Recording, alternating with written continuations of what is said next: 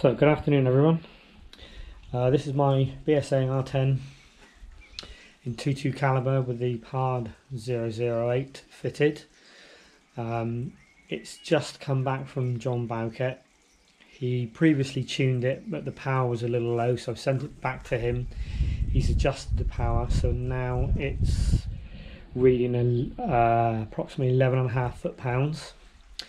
Uh, so I'm just going to do a little video on I'm going to zero the PARD um, and uh, I'm going to do a little bit of a sound test for one of the guys has asked me uh, for a little bit of a bit of insight on what John does. Uh, the best thing to do is to actually ring him, but needless to say, he makes a, a good gun, awesome.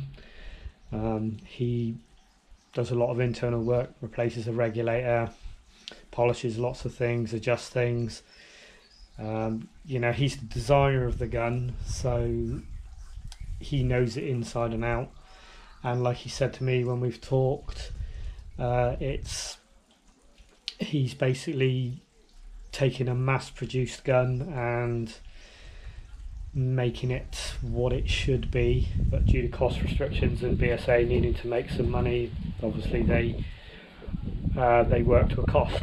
So if you're thinking about having your gun tuned, uh, you won't go far wrong with this man. He's such a nice man. Anyway, back to the test. Uh, pellets I'm using, as you can see, are the Air Arms Diablo Field 2.2 caliber, and they're 4 point, uh, head size in both of them. Um, I'm just going to calibrate the.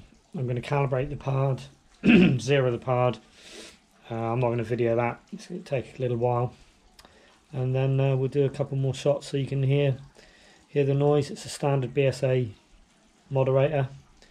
Nothing's changed on there. Okay back in a little while